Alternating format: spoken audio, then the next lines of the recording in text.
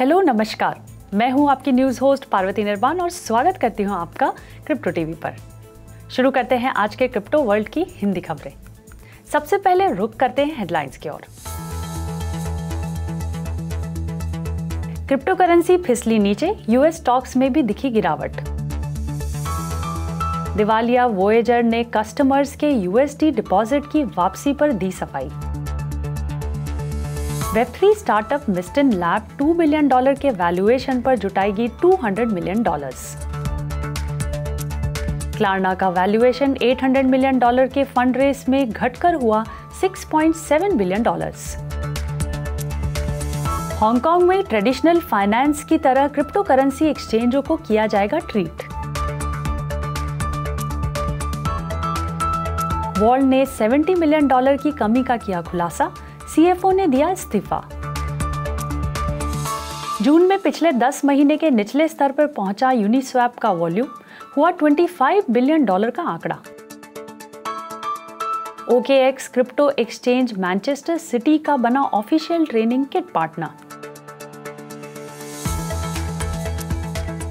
इस हफ़्ते के अंत में यूएस अर्निंग सीज़न और इन्फ्लेशन डेटा की शुरुआत से पहले इन्वेस्टर की सबड्यूड रिस्क एपेटाइट और यूएस स्टॉक्स के लोअर क्लोजिंग पर नज़र रखने वाली क्रिप्टो करेंसी नीचे फिसल गई है।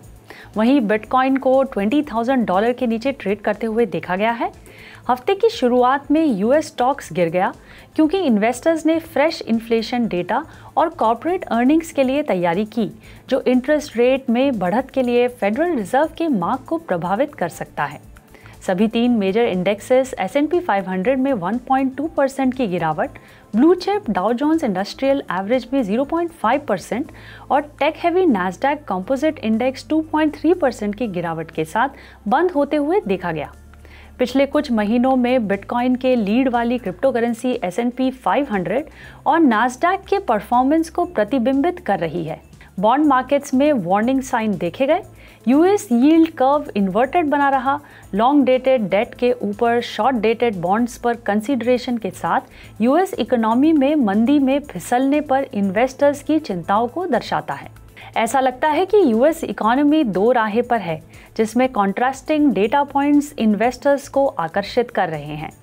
फेडरल रिज़र्व ने इन्फ्लेशन पर काबू पाने के लिए इंटरेस्ट रेट्स में बढ़त जारी रखने के अपने संकल्प को दोहराया है, जबकि अंडरलाइंग मार्केट नैरेटिव बढ़ती रिसेशन रिस्क के संभावित डर में से एक है। कॉन्फ्लिक्टिंग डेटा इन्वेस्टर्स को क्रिप्टो करेंसी जैसी रिस्कियर एसेट से दूर रहने के लिए मजबूर कर रहा है।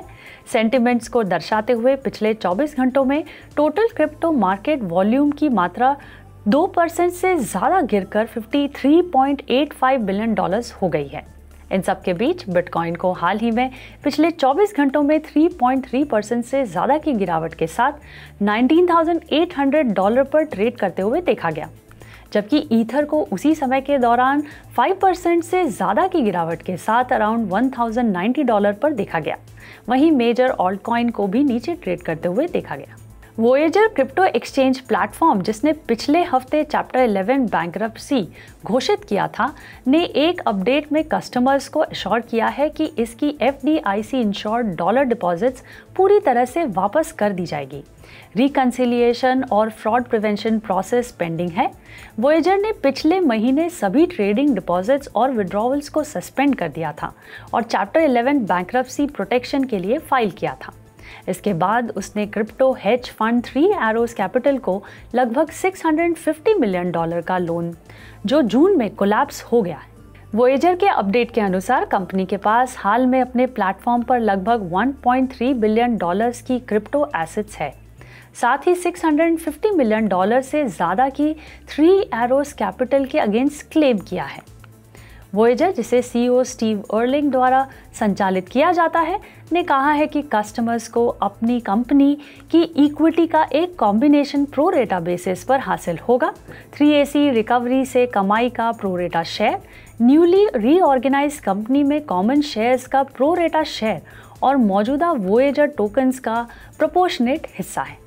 Web three startup Mysten labs 2 billion dollar के वैल्यूएशन पर सीरीज़ बी फंडिंग में कम से कम 200 मिलियन डॉलर जुटाने के लिए बातचीत कर रही है।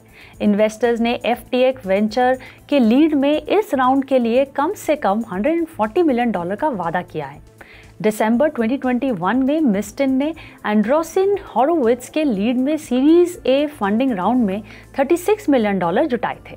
स्वीडिश फिनटेक कंपनी क्लारना ने 6.7 बिलियन डॉलर के पोस्ट मनी वैल्यूएशन पर आम इक्विटी में 800 मिलियन डॉलर जुटाए हैं, जिसकी वैल्यू जून 2021 में 45.6 बिलियन डॉलर से काफ़ी कम थी।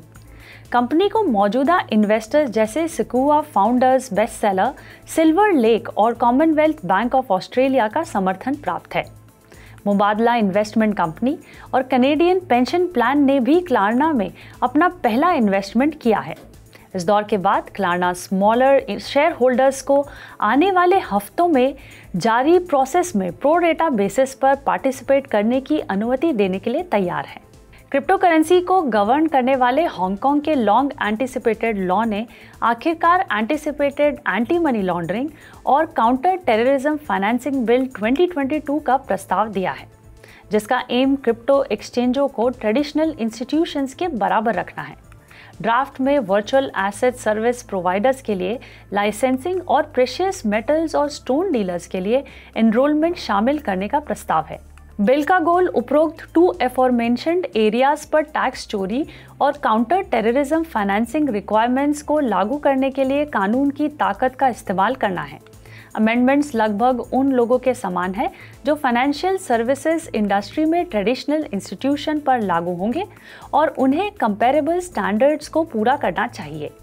रेगुलेटरी और स्टैट्यूटरी मेजर्स का प्रपोज्ड कलेक्शन हांगकांग के फाइनेंशियल सिस्टम में क्रिप्टो करेंसी को मेन स्ट्रीम में लाने की दिशा में एक सिग्निफिकेंट स्टेप का रिप्रेजेंटेशन करता है।